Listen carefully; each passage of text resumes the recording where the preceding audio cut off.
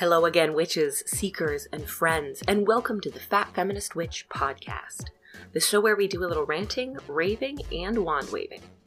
I'm your host, Paige Vanderbeck, and together we're going to explore magic and spirituality, social justice, the psychic realm, and truly modern witchcraft.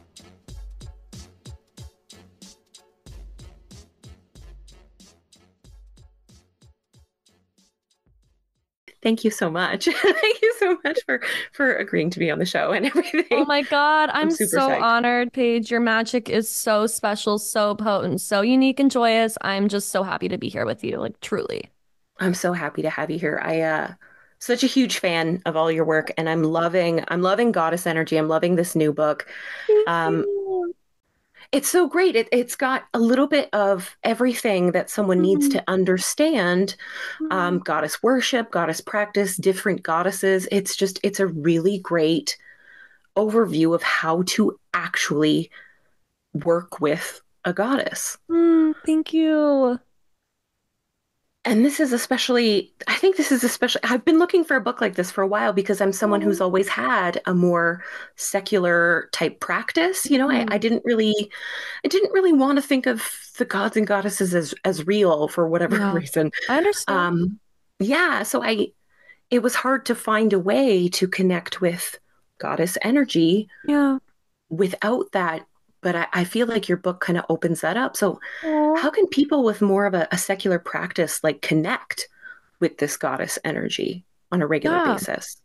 Well, for me, like I really believe that goddess energy is that it's an energy, it's a frequency. It's not so much something outside of ourselves, but it's like we get to tune ourselves like if our body is, you know, like a radio, like we get to tune ourselves to that frequency because everything is energy, everything is vibration. So like if we cultivate enough awareness around like what goddess energy is to us and what it feels like to us, it's going to be easier to access. And like I think kind of thinking about goddess energy as something existing within us already kind of takes it out of like something outside of ourselves that we have to really figure out.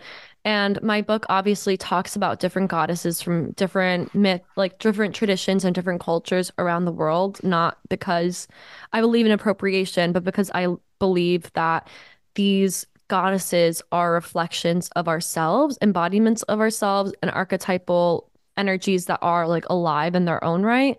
And that almost every culture has kind of their own expression around this, and that they're all like obviously incredibly unique, but there is a lot of um like they you know adopt from another in one another. There's a word I'm forgetting. It's not synchronous, but something like that. Um They so inspire me- each other. I think people, I think all different cultures inspire other cultures and definitely we're all people. And so it just, there's bound to be overlap there. Yeah, definitely. And you know, like with colonization or even just like cultures moving into other pe into other places, like you'll see like the Greek and the Roman and like the Sumerian and like all these kind of different cultures like adopting and it's like called like synch syncretize like i don't I'm so I'm I'm really blanking on the that's word. it. Syncretize, I don't know. But you know what I'm talking about that where might like be the the word. Yeah. different gods and goddesses are kind of adult adopted into the different cultures as a way to like have those people kind of like understand it. Like you'll even see it Yeah. like in Catholic churches that like were built on old pagan sites or that have like pagan gods and goddesses. Like in Mexico in the churches, you'll still see like Aztec gods or like different kind of like Mexica gods, um, like in the the Catholic churches and stuff. So it's just it's a whole thing. But what I was gonna say is like if you're secular, like for me, you don't have to, it might be easier to worship the goddess as a vibration that makes up part of the universe, right? Like there's this masculine and feminine energy, if I'm being very reductionary, that's kind of like active and intuitive. Like obviously that's like very, you know, basic, but like to me, goddess energy is artistic, expressive, sexual. It's felt, it's embodied. It's not something you can think your way towards.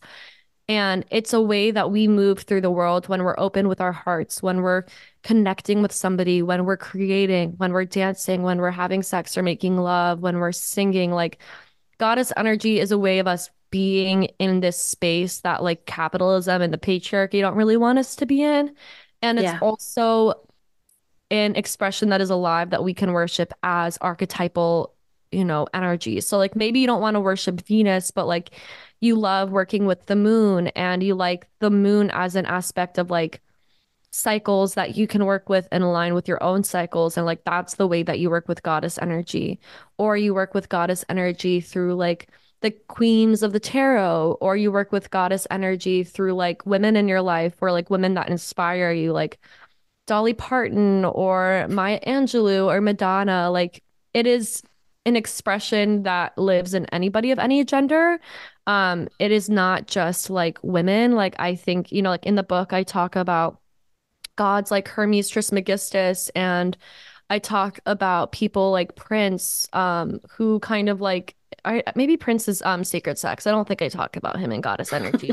but he is You, you did know, like, mention him a lot in sacred sex. I remember yes, that. So like he is kind of like does have that energy. So like it's not just something that's limited to like women. It's not something that's dictated by biology at all. Like it's a frequency within us. And I think that like that could be a, a way for people to start working with that energy in a way that feels like maybe a little bit more numinous and less like black and white. Sorry, yeah. that was a long rant. So I hope I answered your question. no, you did. That's that's really it. I um I liked that about the book is that you a lot of times I mean, there there are sections when you're talking about specific goddesses, but all the way through you refer to it as the goddess or just you know goddess energy. And I was like, this is like that's an idea I can really, hmm. I, I, can really you know hold in myself. That's that's hmm. something I hmm. can definitely relate to a little bit more. Thank you, Paige. Yeah, I uh, felt I, like. Oh, sorry. No, go ahead.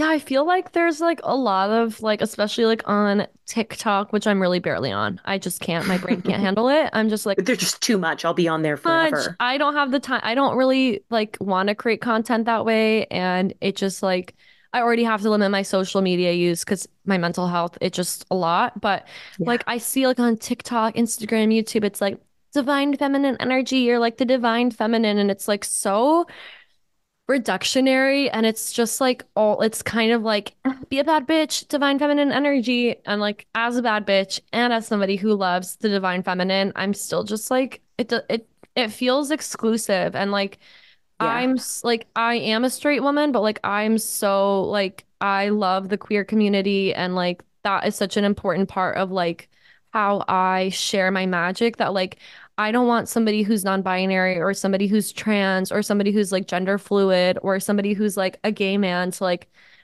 feel like they can't honor goddess energy or that they don't embody it, you know? So like it's yeah. really important for me to not just be like the divine feminine equals woman and like especially the fucking masculine polarity, feminine polarity bullshit that like I just I can't, I can't, I can't, I can't. So Thank you for it gets really. For weird. Yeah, it gets really weird and like oh, weird. separated. Like it's it's very ah. it, it just separates a lot of things that I, I don't think need to be separate. I think that's a great way of putting it. Absolutely. Yeah. Right. Like it, it feels like bits and pieces. Like you're yeah. you're taking out important parts of something here. Yeah. right. And it's like I feel like the masculine, the feminine, it's like the masculine is like the riverbed and the feminine is like the water that flows and like they need each other. You know what I mean? Like yeah uh, and there's like places where those two things come together and they flow together and they change and like I think like obviously that's also an oversimplification, but like yeah, I just I totally agree with what you're saying. Like they're both it's both and not either or. Absolutely. Absolutely. It's both and. They they are it's all it's all together, you know. Um oh. I did an interview recently and and this girl, she said something so great. She said um women and witches, they understand power as power mm. with yeah. And, you know, in my head, I finished that with uh, as opposed to power over. Over. Exactly. And I think, exactly. um, I think a little bit some of that kind of reductionist um, divine feminine is is focusing more on power over versus power yeah, with. Right. Like the only people we have power over are like ourselves. And yeah. I don't even think that's a good way of looking at ourselves. I think it's being in alignment with our power and choosing to handle it and move it and flow with it and honor it and yeah, I really, really love that and totally agree. Yeah, that um that that little line has just been like stuck in my head like power with. Like I love this. Mm-hmm. I love I love this idea. Yeah. Um and uh I, I thought about it a lot. I thought about it a lot when I was reading your book, but especially this chapter on the dark goddess. Mm. Which is like a, a, topic I'm exploring a lot this year specifically. And um, that's the chapter when I was going through. I'm like, oh, I want to write that down. I want to write that down. And next thing I know, I have almost the whole chapter written out. And I'm like, oh my goodness. That's such a compliment, especially coming from you. Oh my God. You're like, I really, really, really admire your like research and like how like how deep you go into that. So I'm really honored that you resonated with any of my work. But yeah, the chapter is one of my favorites as well. So yeah, it's uh it really like it it blew my mind. There was it blew my mind. There were so many parts that I was like, you know, I had a little bit of I had some tears. Like I just, Aww. you know, I went through so many things that yeah. there's a reason I'm I'm exploring the dark goddess a little bit more yeah, lately. Yeah. Understand. Um but there's these parts where, you know, through working with the dark goddess, there's this there's this kind of alleviation of shame that we are all sometimes I think Christians say it really well where it's like, you know, we're we're made in in God's image, like we're yeah. made in the goddess's image. The goddess yeah. is us and we are the goddess. Yeah. It's so if we have all of these these dark scary parts, she has those too. Those are not those are not separate. That is not a failure, a, like a human failure. That's something from the goddess. Um but of course dark goddesses are there's something that scares people. They're, you know, death and necromancy and, um, you know, uh, unchecked, uninhibited, you know, things where you're losing control. Mm-hmm. How can working with something like a, a dark goddess, how can that help you like be more present and more whole in your life? Yeah, I love this question and I'm I'm so honored this chapter touched you. Like I feel like the dark goddess gives us permission to be our whole selves. And when I say our whole selves, I mean our shadow, our light, everything in between, completely sacred. Like the dark goddess asks us to step into non-duality in in my opinion. Like she asks us to not see any one thing as good or bad, but to see everything as divine. Um, and not that, that that doesn't mean that you're ex- I'm excusing rapists or racists or murderers. Right. Uh, that just means that everybody has divine within them.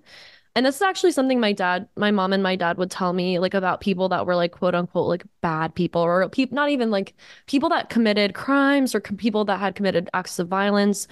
Um, and this is something I actually forgot until right now, but like my parents would always say, my dad is a rabbi, my mom is just very spiritual. And they were like, people who do, do those things aren't like necessarily like evil or bad people. They just forgot they had God in their hearts. And like, I kind of feel the same way about the dark goddess. It's like we all have we are all love and like the dark goddess doesn't ex- it's not that she's excusing us to go and do whatever we want but like she shows us that our shame our sexuality, our rage, our sadness, um, even like our trauma, like these are all parts of us that are like not that our trauma is sacred, but like that the, that no matter what we go through and no matter our feelings or no matter what we've done in the past, that like that is okay and that like we are divine because the dark goddess is like a goddess of the shadows. She is a goddess who brings up our own darkness, our own securities. She mirrors that to us and she asks us to love ourselves anyway. And I feel like for me, like the dark goddess is a goddess of initiation. She's a goddess that, like, when you work with her, she requires sacrifice. And often, like, in my own experience, which I write about in the book, like, I'll do some kind of really intense ritual with the dark goddess, and then something really difficult will happen. And I always forget that when I'm at the gates of the underworld going to the dark goddess, she requires a sacrifice. And like I call it sacred amnesia because I think that if we would remember the intensity and the pain of going through this darkness to honor this goddess like we wouldn't do it so she kind yeah. of like allows us to forget i also think that's really similar for people who bleed and have their like men- their periods because it's like every week i mean some people obviously have it worse and they have like actual like you know like um is it, what is it like PMDS and stuff like yeah and really, like endometriosis really and stuff yeah, yeah. this is that's totally different but like I do feel like that no matter what when you have your period like you're either going to be emotional or you're going to be cranky you're going to be hurting and it's like I'm just like cry all the time days before my period and I get really depressed and then I'm like why do I feel like absolute garbage? And I'm like oh it's my period it's been yep. happening for like over 15 years and I still yeah. forget. I have that secret amnesia because if I remembered how much it sucked, I would be spending the three other weeks of my month anticipating it. Um, yeah. Absolutely. That's so know? true. like it's kind of a gift. Like the sacred amnesia is kind of a gift because we keep showing up at the temples of the goddess. We keep releasing in our body when we bleed. And I do feel like the dark goddess for me gives me permission to own the parts of myself that feel taboo, that feel um that feel like rebellious. And especially like in this kind of patriarchal world like women are put in a very very small box. Like we literally are put in a small box. We are taught to be skinny to be quiet to be submissive. We're taught to not make too much noise. We're taught to not ask for what we want. Like the world just wants us to shrink right? Like i yeah. really feel like that's kind of why and just pretend to be young and like hairless and not say anything and not have our own opinions and like the dark goddess is the antithesis of this. She is rageful. She is loud. She has an opinion. She is scary because I think like the the patriarchy at the end of the day to me is is terrified of like especially a sexually liberated woman or a woman who uses her voice. And sexual liberation to me is owning your sexuality in whatever facet that is, whether you're having a lot of sex or you're celibate or you're straight or you're aromantic or you're polyamorous like it just means owning your truth without like you know like if it's safe to obviously it, not, it's not safe for everybody which is also like part of the reason we need the dark goddess because she is a transformer. And i think for me at the end of the day what the dark goddess can teach us is that our shadow and the parts of ourselves that we reject and we wish are different are just as sacred as our light and just as necessary as our light. If we want to go to the heights of ecstasy, we need to be able to go to the depths of the underworld. And if we want to own all our lights and our angelic, our sweet, our loving, heart open self, then we need to accept the part of ourself that is rad- rageful or wrathful or jealous or sexual. And the dark goddess is all of those parts. She honors her entire spectrum of emotions and in doing so when we honor her like we honor ourselves. Um I really think like what you were saying we're made in the image of the divine. Like I you know there's this idea of as above so below and like I really feel like we are embodiments of the divine in human form to have a human experience because the gods, the goddesses, the divine is numinous. It is not physical. It does not eat. Yeah. It does not fuck. It does not drink. It does not cry. So like us having a full like we are the gods and goddesses incarnate to have full human experiences and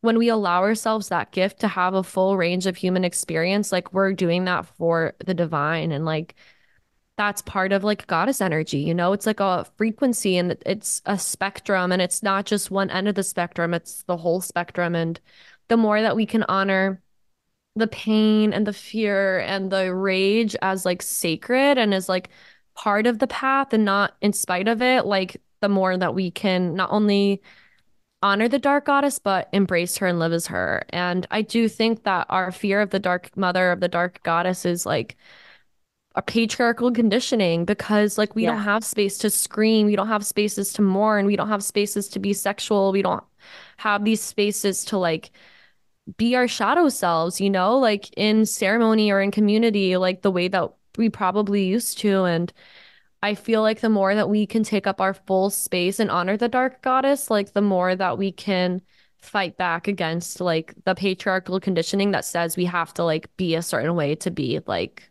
women or non-binary or like whatever like exist absolutely i um I, I when i was when i was reading the chapter i i just thought of this um this experience that i had last year you know i i you know, I tried to kill myself. I ended up in the psych ward, all of that. And then for months after, it's like, well, I am so happy that I am alive and like I'm going to go to the therapy and everything. And I'm like, I kept saying, like, I'm happy to be alive. I'm happy to be alive. Oh. And then all of a sudden, I was like, you know what? I'm not actually that fucking happy. Like, yeah. I'm not actually okay. But as yeah. soon as I said that, yeah, I started to feel mm. better. Like, that was when I actually started to get better. yeah. And I was like, wow, that was like, I really. I didn't want to admit that. No one wants to hear it, right? Like, not yeah. even therapists, they don't want to hear it because yeah. it's scary. And so I didn't want to hear it either. I didn't want to say it. And as soon as I did, I was like, oh my God, like that feels so real. That feels yeah. a lot truer.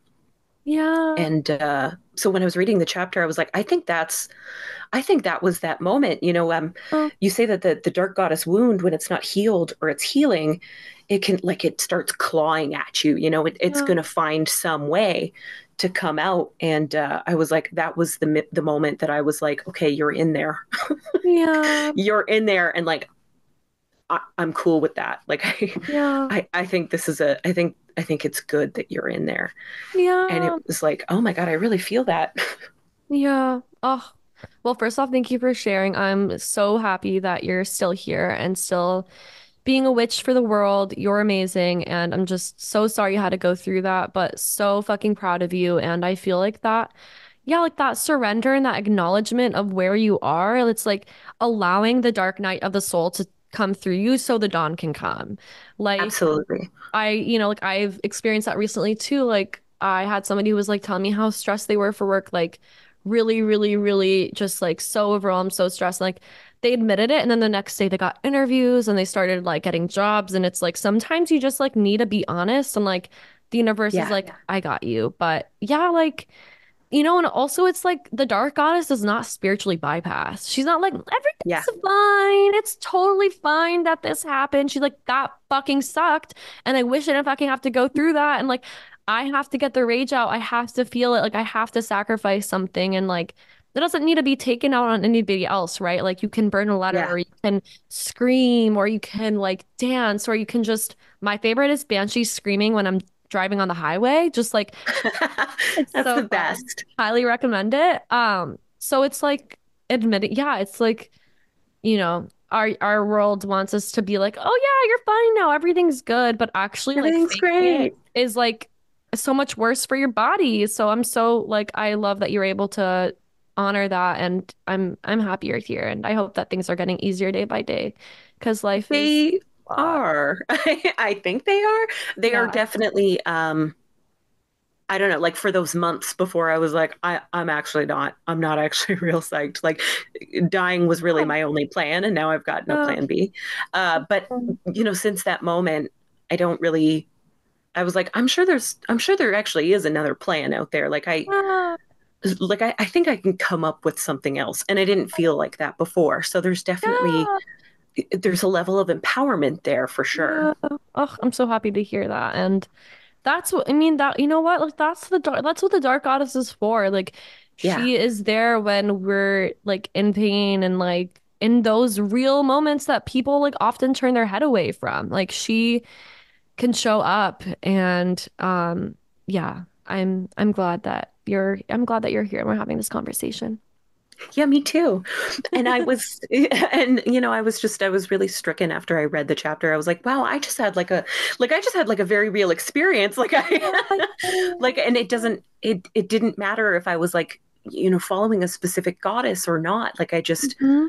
reading the chapter, I was like, I really feel, like I really relate to this a lot. Yeah. So I, I thought that was, um, I thought that was really neat because I've, I've rarely felt that about books where they're trying to, you know, explain to you how to work with deities specifically. Yeah. I feel like, um, not that worship is a, is a bad word, but I've always felt like there's this idea where you're like a servant in some Mhm. way, Mhm. and they're, I don't know, like it's it's something you have to. I don't know what it is. It's it's more like a a very unequal thing. Yeah. Yeah. Um, but but in the book, I was reading it, and it was more. It's more like a like a relationship. Like it's it's less like I'm their employee of some Yeah, kind. literally. Oh my God, capitalist deityness is like only serving your deity and getting nothing in return. Yeah, Yeah, no. It's a relationship. It's like a friendship. It's like it has to be two ways. Like you make time and space for your friend, you listen to them, but you also like receive something back. And like, yeah, yeah, like I totally see that. Like even if you weren't necessarily like honoring, like worshiping a dark goddess, like you know, praying to her, like you were the dark goddess. You were embodying that energy and you were holding that within you even without like knowing it. And you were allowing yourself to feel all the feelings and like the feeling of like actually like I'm still in this energy and like that's okay. And I just yeah, I'm I'm I'm really touched that that that that spoke to you and I feel like yeah, she can be there for us. And it's like, even in the book, I talk about, I'm like, yeah, you can work with faces of the goddess, or you can just call upon like the great mother, the dark goddess, the goddess of love, and like not use like one of her specific faces because she's Yeah. still there. Like the goddess is here to comfort us. And it's like just as we receive from the goddess, like they need our prayers and like they need our love, but like we also get something back. So I'm I'm it's not transactional, you know what I mean? It's like Yeah. and actually, to me, it's pretty disrespectful to just be like, "Hey, Venus, I need a hundred dollars. Please give it to me. Thanks." Shitty. Like, and if I don't get it, I'm going to stop believing. you know what I mean? It's like, and like the like what you did intuitively of like being in that dark goddess energy is like such a. It's so beautiful. Like you went through that initiation and the ordeal initiation, that ordeal process, and like now you get you come back from the underworld and you have a different perspective and like yeah, I'm just I'm just honored that the book resonated with you, especially after going through what you went through, like truly. Yeah, and every time you mention like every goddess story, there's this there's this journey, you know, into the underworld and back up. I'm like, hell Mhm. yeah, like I, I did Mhm. that. Ah, literally. I really did that. I really You did that. That's so cool. You did that. I did that. It was not. I don't. I don't recommend it. Like the, doing it the way I did. Don't. I don't recommend it. But you know, it's it's a thing that happened. It's not. I don't recommend it, but it's a thing that happened. So Paige, what are your um, you're a Capricorn sun, right? Yeah. Are you a Scorpio rising? Yes. Oh my God, of course. What's your moon in? uh, Libra. Oh, oh my God. So we're kind of same, same, but different. I'm Aquarius sun, Scorpio moon, Libra rising. So both That's Saturnian funny. suns and a little bit different. But I mean, Scorpio people, Scorpio rising is like your literally like the path is death and rebirth. So you are going through the underworld. You're going through, you know, like you are Inanna, you've gone to the underworld, you've come back, and now you're queen of heaven, earth, and underworld. So I see that for sure. That's what I want. I want to be that Yeah. queen of everything. Yeah, you are. Yeah, I actually um it, it, that was something else I liked about the book is this idea of embodying the goddess and and becoming the goddess and like Mhm. I think that was again, I think that's very different from a lot of the other ways that I used to read it where it's it's something that's separate from you. She's Yeah. she's a separate entity and and you know, you're just here to to work for her. There's this Yeah. idea in your book where you become the goddess. So Yeah. what is that what is how can someone actually become you know this goddess that they are working with or that they need in their life I feel like the first step is just deciding. It's just being like, I am like, again, about as above, so below. Like, if I'm honoring the goddess, the goddess is honoring me. If I'm a part of her, she is a part of me. Like, because the goddess is an energy, that's something that we can live in, and that's something that we can access, and that's something we we can embody. And what I mean by that is that we can remember that our feelings, our heart, our sexuality, our rage, all these parts of ourselves are sacred. And it really starts with just like a, a shift in like the way we see ourselves because if we recognize that we have the divine if we have if we recognize that we are goddess if we recognize we have goddess energy within us in my opinion excuse me it forces us to be more compassionate to ourselves it forces us to look at ourselves with love and understanding in a way that we're usually not taught and we usually don't um, you know hold for ourselves. Like to me, embodying goddess energy means living in line with the divine within yourself and allowing that to be expressed, felt, and created in everything you do. Like it is a way, like just being like a witch, like being a witch is a way to move through the world. Like embracing the goddess within is a way to do that as well. And it's a really way to center our hearts, our bodies, and our souls in our life. And like there's different ways to do that. That might mean through prayer, through moving our bodies, through something like sex magic or dance or adornment through glamour. And like the reason that this is important for me personally is because I feel like in a lot of the, you know, like Western religions or like in a lot of kind of like patriarchal traditions, like I grew up Jewish and it's interesting because like in Judaism, God is not gendered, but like Spanish, um, Hebrew has masculine and feminine like endings and words. yeah So even though God is not gendered, God is still masculine just by the way that we describe it. Um, but like in Christianity and some sects of Judaism, like, you know, like God is outside of us. God is something that we honor. And like for me, it is so the opposite with goddess. Like goddess is not thought. She, like you can't think your way to her. She's not something outside of yourself. Like, yeah, you can worship different faces of the goddess, but they represent things that you have within yourselves that are awakened. Like when you honor the goddess of love, you are awakening that those seeds within yourself. You are nurturing that part of yourself. You're nurturing your heart and your sensuality. Like she's not just outside of you, she is an embodied experience. And like it it it starts with the mind sh- like the mindset. And then I think that it's something that can only be experienced when you're like it, it's it you have to experience it for yourself, but like it can be really simple as just like honoring yourself, like thinking of yourself like, okay, if I was like a goddess back in the day, if I had a temple where people came to worship me, who would they worship me as? Like, what would I be the goddess of? And what would the Yeah. offerings be? And how can I honor myself as that, right? So, like, for me, like, I would want to be Gabriela, goddess of like glamour, magic, and sexuality or something. And I feel like people would bring me like red roses and joints and red lipstick and um tweezers and coffee, right? So like when I okay, like I have that. So I'm like those are the offerings I can bring myself. And people would worship me through what? Like through dance or like would like bathe my statues. So like I know that I can take like a bath with some like, you know, Epsom salt or I can like, you know, that's obviously like self-care. I think self-care is a part of this because the goddess is like it's not selfish. Like i think you know like we i know that you understand this. I know your listeners get it. Like self-care like has been monetized patriarchalized. I don't know if that's a word but it should be.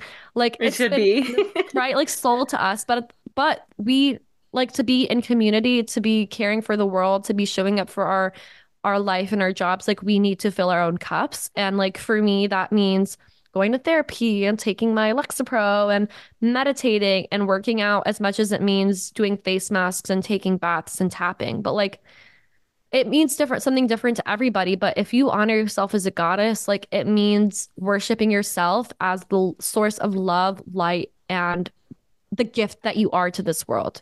Every goddess has her own story and everybody is unique. Like there is nobody that's you, and that is a gift. And the more you foster that and foster that creativity and art and love, like the more you're going to be connected to goddess energy.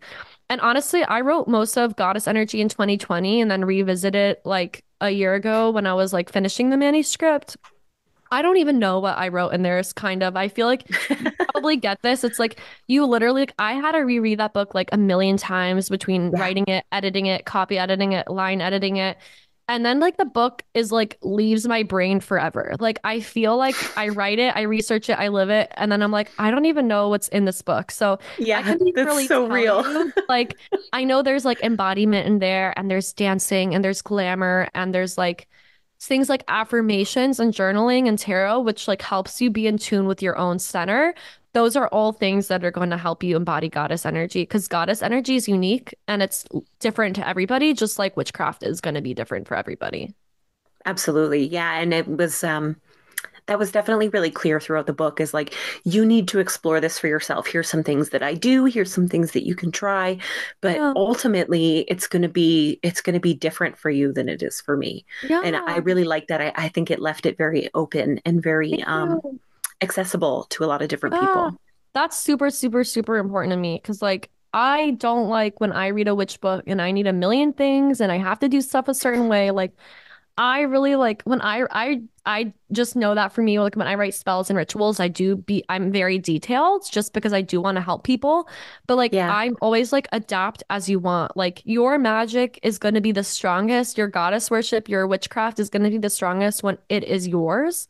And like I even though I'm quote unquote like an authority or like a teacher, like I am not like I'm a student first. I am somebody who like I know that what works for me is not going to work for me for you necessarily, but I also recognize that having examples that are have worked for somebody is really helpful. So it's like It's it's really kind of a mix, you know? Like I I just more than anything, it's really important for my work to be accessible to all kinds of different people.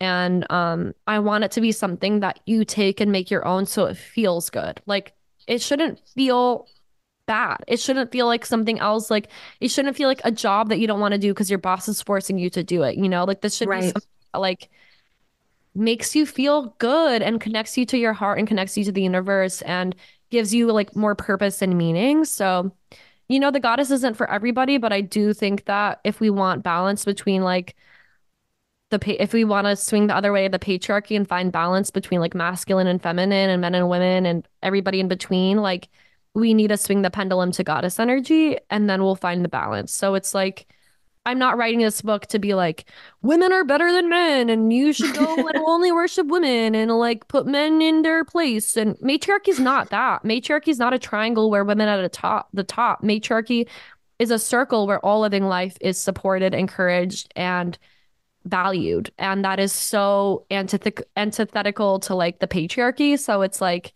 yeah, I'm just, it's important for me that people can access that in whatever way feels good for them. Yeah, power with, not power exactly. over.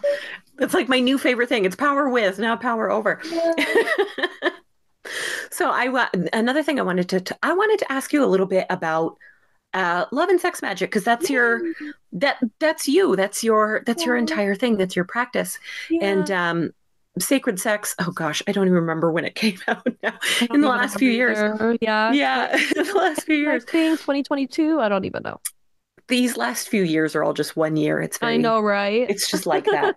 um, but I, I, again, I think um, your presentation of, of love and sex magic is also very open. You know, you and I are very different in terms of, of sex and love, where we mm. go in different directions. But mm.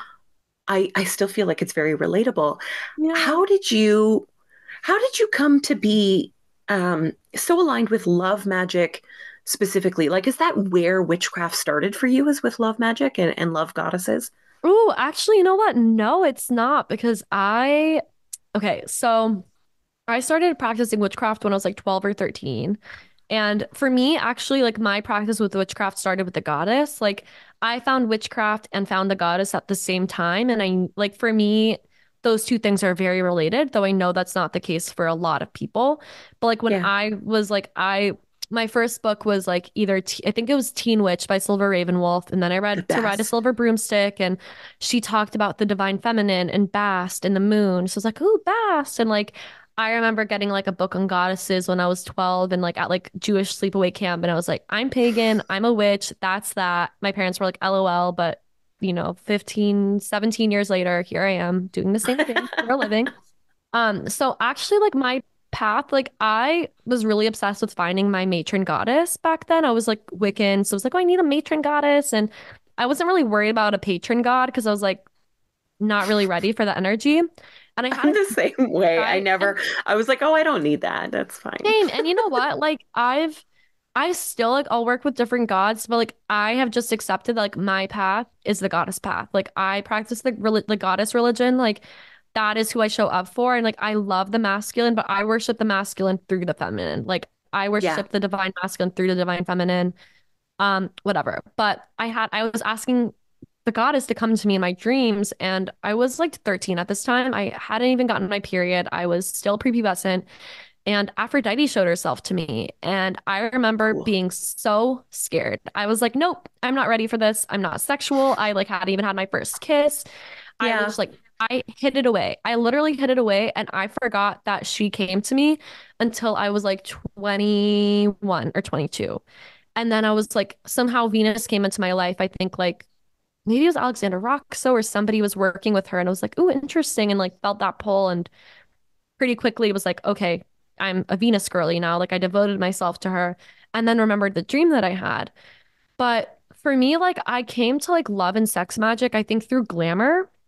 I was writing a lot of like blog posts on my then fashion blog, Breathing Fashion, RIP, on like outfits inspired by tarot cards and I started realizing that like I could honor my magic and my sexuality through like lingerie and eventually I found Venus and it was just like something clicked. I discovered like I started exploring um, BDSM and kink at the same time and was involved with somebody and we quickly like were not involved, but he was like the one partner I had who was like actually kinky and had a dom and I quickly realized that I like when we start stopped seeing each other that I was gonna have to like become my own lover, express my sexuality in like my own way and like explore kink by myself. And I deca- yeah. I dedicated that to Venus and started working with her. And through that, like through the past almost 10 years, probably eight or nine years, like I've devoted myself to different goddesses of love and just like really realized that like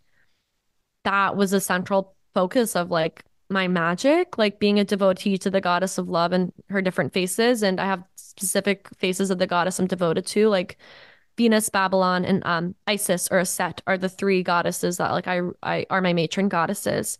And like realizing I could be devoted to more than one goddess for me was like such a life changer. Like I had that like Wiccan indo- indoctrination that you could only have like one goddess that you're pledged to. Yeah. And during COVID, like 2020, I was like, wait, no, like I could be dedicated to like more than one goddess. And like that is really when I realized that the goddess of love, like that current Inanna, Ishtar, Babalon, Venus, Isis, Hathor, um, Kurukulla, like white, even like white Tara, like these expressions, white Tara a little bit different, but like still these goddesses of like love, um, specifically the current starting with Inanna, Ishtar and like going to, you know, all these different expressions of the divine feminine, like that was like where my heart was. And in turn, like that became the goddess was always a central pillar of like my life and my devotion, but like that really kind of centered that. And for me, like that happened around the time I started exploring kink. And then a few years later, I started doing sex work and like started kind of embracing the goddess as a part of that. And like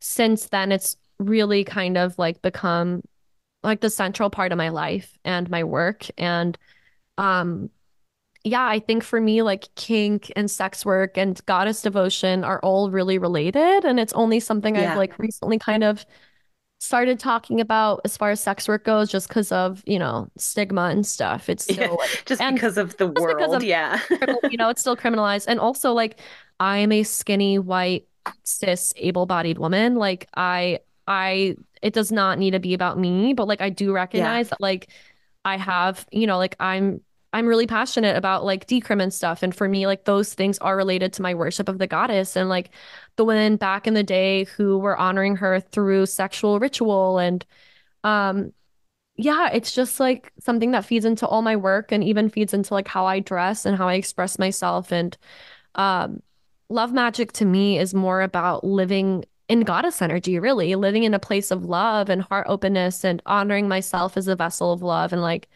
just like I think that becoming a goddess is like becoming the goddess by embracing yourself as divine, seeing yourself as divine, and then honoring her as or like her different faces as a reflection of you and d- different parts of yourself and different parts of your totality. Like I see that the same thing with love magic, where it's like the strongest love spell you can cast on yourself is to be is it's to cast on yourself is to be an embodiment of love and to be love incarnate and to live from that place. So um yeah, I don't know if I answered your question, but I hope I did. you did, and and I think um, I, I think that's good. I, I think a lot of people, when they hear love magic or love spell, they think of one thing, which is mm-hmm. trying to attract, you know, a partner. They're trying to attract mm-hmm. someone else to share their love with or to show love to them or yeah. to, to share sexuality with or whatever, which is like, you know, that's obviously part of it. And yeah, that's great. And there's nothing wrong with it. But like, there there's a lot more to love magic with that. Like what other kinds of spells and, and rituals does someone devoted to love do besides just trying to attract a partner? Yeah well i feel like you know like spells and rituals for me are similar different. Like a ritual might be for me like taking a really really long bath with like my Epsom salts and my rose petals and like turning my phone on silent and putting music on and like closing my eyes, maybe using my vibrator and doing some like sex magic. Like for me, that working with my sexual energy, whether that's through dancing, movement, masturbation, or sex, and like feeling that in my body and dedicating it to a specific purpose when I orgasm or when you get as close as you can to orgasm is like a big part of my magic. So like for me, like I'll dedicate my orgasms to like the goddess or I'll move them through my body or I'll like have an intention in my mind, like, or I'll just enjoy the pleasure that comes from it as an offering to myself. Like working with my sexual energy as an energy is a big part of love magic. Um, but it's also like it can be something like dressing up in an outfit that corresponds to like whatever's going on astrologically to make me feel beautiful and like an embodiment of love. It can mean lighting candles to my goddesses and meditating with my heart. Like one of my all-time favorite, excuse me, meditations is visualizing a rose in my heart and as I breathe and an inhale, it expands and blooms. And as I exhale, it like curls its petals and closes. And it's just this like in and out. And like it doesn't have to be spells. Like for me, meditation and visualization are such a good way to practice this kind of magic, either by embracing our hearts, asking our hearts what's going on, breathing in, you know, pink light, pink glittery light into our bodies for love, speaking affirmations of self love in the mirror, or, you know, working with the full moon and meditating on the lover's card or on the energy that I want to embody to attract love. Like, obviously, you can use it for partners, you can use it for sex. But again, like, I feel like becoming love and honoring those qualities that you want in yourself is like a really powerful way to work through, you know, like to do love magic. Um, yeah. for me, like when I was really trying to honor the divine masculine and call in divine masculine energy into my life, like every day I would list out like five ways that I already had, like I was already in tune with my masculine energy, and five ways that masculine energy was like already present in my life. So, like, whether it was like, oh, well, like I'm really good at like structure. I'm like really, you know, like I take care of my shit. I work out. Like I'm really like whatever it is. And like, okay, like my dad is an example of the divine masculine, or my friend Corey, who's like gay, is a really great example, or like my friend Dane, who's like been my best friend since I was little. Like there's yeah. different ways to do it. And that way it's not just like yearning for something outside of yourself. It's also coming back to the way it already shows up in your life. But I mean, like, I feel like it's just like being like a living, walking Valentine. And like for me, that means like I love wearing, that. right? Like being wearing pink and wearing red lipstick and like wearing things that make me feel sexy, but it's also just like allowing myself to be cheesy and romantic and cute, like watching rom-coms or like reading love stories or like flirting and kissing, you know? Like there's just even like dating can be a, a part of like a love magic practice. Like dating yeah. is a way for you to see where you are because when you're dating somebody or you're going on first dates, like your partners are mirrors to where you are. And like when you show up with more clarity, you're going to get partners who inevitably do so as well. So I think again, it's like expanding this idea from just spells and rituals to the way that you move through your life with that intention in your heart and mind. Yeah, absolutely. I love that. And I Man, I love Valentine's Day. I think right. it's because I I like I like the cheesy stuff. I like the fun mm-hmm. stuff and I love I love like physically giving people little like paper valentines like the kinds that you would bring to school because it makes people smile and literally, laugh. Literally. Like it, it just puts a smile on everyone's face. No one's mad that they got like a Hello Kitty Valentine or something like that. Like right it's I, just uh, i think love energy is kind of it's um i think people i think they attribute a little bit too much heaviness to it all the time or like a yeah. like a pressure when yeah. it comes to love i think i think um i think it's hard for people to see other kinds of love that are not just like getting married and having exactly. kids and literally like i i mean for up until i was 28 like I'd never had a boyfriend, never been in love, had dated, but like not ever been in anything like really serious. Like never again, never had a boyfriend and I was like so annoyed and I'm still annoyed because like I feel like the US really is like if you're not in a committed relationship with somebody else, then you're you're valueless. You're a loser. care about you. You're a loser. Yeah. And like, uh, you don't have a Valentine. What's wrong with you? And like, I still like, even though my boyfriend was my Valentine and we spent Valentine's Day night together, I was like, I love Valentine's Day, even though I've never, like, up until him, like, I never had like a Valentine. Like, I still love it because, like, my friends are my Valentines. I'm my own Valentine. It's an energy of love. Like, I love that it's cheesy. I love that Hallmark kind of like made it up, even Yeah. though Lupercalia is a thing. But, like, I feel like that's what I kind of was talking about in Sacred Sex. I'm like, love is so much more expansive than just like being in a relationship. Like it's Yeah. how you treat yourself. It's your relationship like with your friends. It's your relationship with yourself, with like it's your like the love you have for your pets, your families, your community. Like just saying that love is one thing is dismissive of the expansiveness of love and of like the different kinds of relationships and sexuality and like partnerships that exist. So, and like I feel like part of the reason I hadn't had a boyfriend up until now was because like the monogamous relationship escalator never spoke to me. Like I was like I don't want to move in with somebody and like not until I'm like engaged. Like I don't want to Yeah. meet Oh somebody's my family God. right away. Like I don't want to like get married and have kids and like have like the white picket fence. Like I've always known I wanted to be married, but I'm like, I don't, I want to be a slut for the rest of my life. And like, I just want to keep getting sluttier. I don't want to live a life that like children can be a part of. Like, I don't want to live a life where like that would make sense.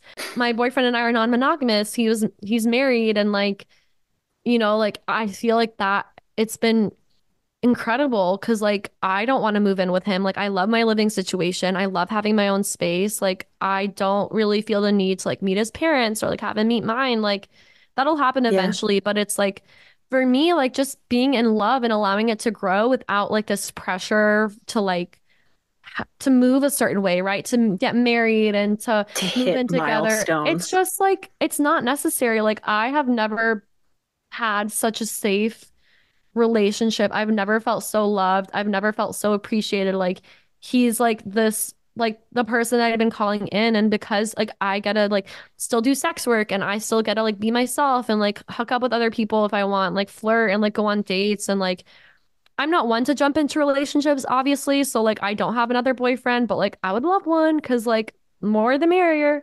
But like he's just raised the bar so high. I'm like, good luck. Um, like that space and that freedom to like be my full self and that for that to be celebrated and for, to not be like pressured into like this very s- slim expression of love that society places on me has like allowed me to be in this like really committed loyal relationship for almost two years. And it's just like, I don't know. I just like, I have qualms with society and the patriarchy and the relationship escalator because I'm like, it is, it is not healthy. Like, it's just not, I Yeah. don't, It doesn't it work doesn't work for for everybody. everybody, and that's okay. I love your podcast. oh my God, I'm you. loving Love, Lust, and Magic. This is it was it was so great. I love the guests that you have on. What what made you decide to start a podcast? Okay, well, first off, I would love to have you on as a guest. Like, I would I would love, love that. love to have you on as a guest. We will arrange. I will email. Um, so thank you for all these compliments. I have wanted to start a podcast for a long time, but like I have been from like 2020 to like 20 like for like the past I don't know, even longer. Like for a long time I was just like writing books nonstop and I was like writing multiple books at once. So I just like did not have the time, space or mental bandwidth. Yeah. And I knew that I wanted to start a podcast because I'm an air sign and I love talking and I could talk forever. And just because like I knew that it was like a way to like honestly like grow my audience, but more than anything, like I have like besides like I don't really have anything right now that's like really free for people. Like I have a Yeah. shit ton of articles out. Like if you like I have i have written thousands of articles for so many different magazines that you could go and find, but like you know, books like obviously like please ask your local library to buy your, my books. I do not care if you get them from the library. In Hell fact, yeah. I would love it if you get it from the library because libraries are like my happy place. I need to go more. We love a library. But like besides that, like I do recognize that there is like for most of my stuff, whether it's Patreon or like my books or my ritual guides, like there is a you know, like a payment, like a paywall. You have to pay, which is important Yeah. because I need to make money. Gotta pay the But I- rent. Uh, yeah, exactly. Like I, but I wanted to do something that was accessible for people that um I could interview people because like over the years I've been lucky enough to like get to know so many incredible witches, sex witches, artists, creators, like And I just have like I'm lucky enough to have this like really extensive network of people who like I've been on their podcast and I've interviewed them for pieces or they've interviewed me. And I just decided last year, I was like, okay, 2023, I am not going to write any books and I'm going to focus on podcasting and do like sex work. Like, literally, it was like, I'm going to take a break. My brain cannot handle writing any more books. I will literally explode and I want to start a podcast. So, I knew right away that the things I was really going to dive into were the things that I'm obsessed with, which is witchcraft, sexuality, and the goddess. Like I knew that those were going to be the kind of things that we would get into in the podcast, among other stuff. So yeah. like I just realized that Love, Lust, and Magic was I just think it sounds really cute. And I it had does. my friend um Iffy Fwa Graphics do the art because I love her and like I feel like when those things came together and I found my producer, like it just kind of like it was really easy. Like and not easy. It's a lot of work. It's a lot. It's a lot of work, but no, it I know what was, you mean. yeah, like I just like love doing it and I like started interviewing people and like emailing people in Gemini season, um, which felt really natural because I just felt like really creative and really inspired. Been I'd interviewed people since then, and then I just like really wanted to wait for everything to be right, like the the music, the album art, everything, and then I launched it in November, and it's just been so fun. It's just like it is a lot of work as you get like, but I love it. Like I come from um, a journalism background, so like I like cool feel like I know how to interview people kind of like I I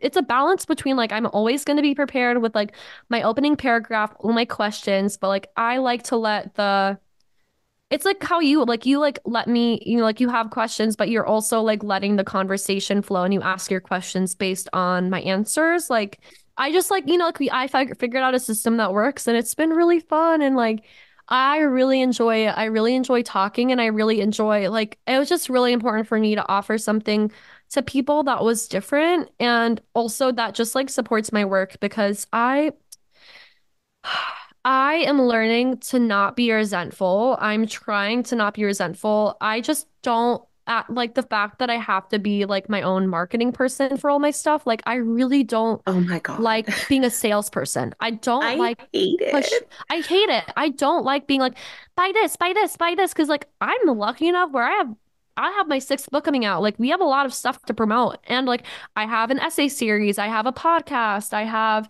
classes I teach. Like I constantly have shit to push and like I don't like it. I don't like it. I yeah. just want to create. I just want to do my own thing. Like I don't like having to post on Instagram and like I'm not at a place right now where I prioritize hiring somebody to help me. So it's like I'm doing it myself.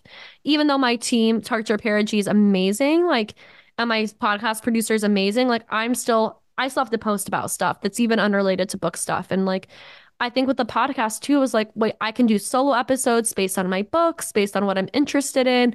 I can plug things. And more than that, like I can give like my platform to people whose work I admire and I support. And that's more than just like white men and occultism and witchcraft, which I yep. love white men and occultism and witchcraft, but like it's so important to me to interview more people than that to interview sex workers and artists and you know like other people. So like i've had like my friend who's one of my best friends is like a mental health writer and i interviewed gabriella rossi who's an artist and um there's just Chelsea like different kinds of people and i just yeah it's definitely made me get over listening to myself which is kind of nice so. I think that's what's so cool about podcasts is like reading someone's book and hearing their voice sometimes are it can be really different. You know, you yeah. you picture what someone might sound like, but yeah. I feel like hearing someone's voice, I'm like, this somehow provides a lot of context definitely for their books when I when yeah. I when I know how they sound, when I know how they, you know, make little jokes, when I, you know, know what words they use all the time. Like yeah. it I think it's I think it's great to do both. Also, yeah. podcasting gives you like an excuse to like research stuff and learn new things and talk to people. And I feel like it, um, like on your show, I feel like you just explore so many different things. And it, I imagine that that, you know, over time, that's just going to grow and grow and grow. Thank you, babe. Yeah, it's been it's been really fun and um yeah, it's really intimate to like hear somebody and hear somebody talk about the things that they're like passionate about and I feel like I can talk about things on my podcast like I can't talk about my book. There's something really really special about Yeah. um getting to talk out loud Yeah. about this ab- about witchcraft about about magic, you know, especially um it can be hard to talk about it with you know just random people like you're just just your friends sometimes there's just not a great audience to talk Yeah. about magic around other people and so you know podcasting is a way to to way to, a way to get that out And I feel like I'm learning from my guests all the time. Oh, And yeah. I like I love it. I feel like too part of like for me like being like synchronicities are a reminder that like I'm on the right path. And like so often Mhm. somebody on my podcast will like reflect something that I've been feeling or I've been like stewing over. Like they'll just express this thing that I didn't have the words for. And like that's such an an act of like magic and such a gift. Like I I love it. So it's like I'll I love you know like being I'm I'm not I'm always trying to grow and do better. So it's just like hearing people express things in maybe a different way than I would have thought it's just so special and it's so sacred and it's been like it's really been such a gift that people have resonated with the podcast. I love writing. Like I have said this before and I it's dramatic, but it's true. Like I would not survive if I couldn't write. Like if I Yeah. wasn't able to write things, I think I would my soul would die. Like I need I it and I my love it. Exactly. But writing is such um it's not like isolating necessarily, but it's such a solitary thing. Like Yeah. I, even if I'm at a coffee shop, I'm in my own world. Like when I'm really writing my book, like I'm alone. I'm alone researching. I'm alone writing it. Like, and podcasting is the opposite. It's communal. You know, like yeah, I'll, I record solo episodes, but like I really wanted the majority of my episodes to be interviews, and it's just, especially post, not post COVID, because we're still in it, but like especially in this kind of era of like I, you know, I wear masks and stuff, but I still see people. Like it's so nice to have that connection, even if it's like virtual. Like yeah it just it makes me really happy. So thank you for the support.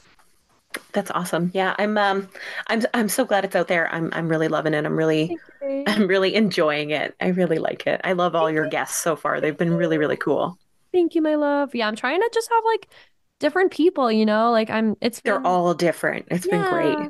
Thank you. It's been really fun. Uh, I think that was like I'm looking at my my little like haphazard notes. I think that was all of the questions and like specific stuff I had for you. Is there anything else that you wanted to talk about or that you wanted to share about any of your projects or anything like that? So if you order the book before the day it comes out, I'm gonna see if we can keep this through like the first week the book is out, but you got a bonus uh PDF. So if you pre-order, you get a beautifully illustrated, gorgeous PDF that has exclusive affirmations, journal questions, and a tarot spread. The tarot spread is in the shape of a heart. I think it's really Aw. cute. And it's all about connecting to the goddess, goddess energy, awakening that within you. And it's none of the affirmations, the journal questions, or the tarot spread are found anywhere else. So that's just Very a little cool. freebie. So um, you can go to like my Instagram, my link tree. We'll have the link um, to the bonus PDF, and that's available to anybody who pre-orders it. I'm always like putting out new classes. So by the time this comes out, I'll have my creating a daily practice class in my store, in my shop, um, and s- classes like perverting the tarot and um, Awesome. self-seduction, which is a class about solo kink, and like all of that stuff is on my website. And um, Goddess Energy will be out on the spring equinox. I'm so grateful to be here and so grateful for your support, your beautiful questions, and your magic. It is so needed, and I'm so glad you're sharing it with the world. Oh, thanks. I'm really I'm I'm really excited that we we got some time to talk. It's always a pleasure Yeah, to have you on here and I'm Thank you I'm just such a big me. I'm a big fan. I'm a big fan of everything that you do and all of your books. So I'm I'm really excited to um you know to have the podcast that I can follow and then to have a new book coming out. I'm just I'm just really pumped to see so much from you.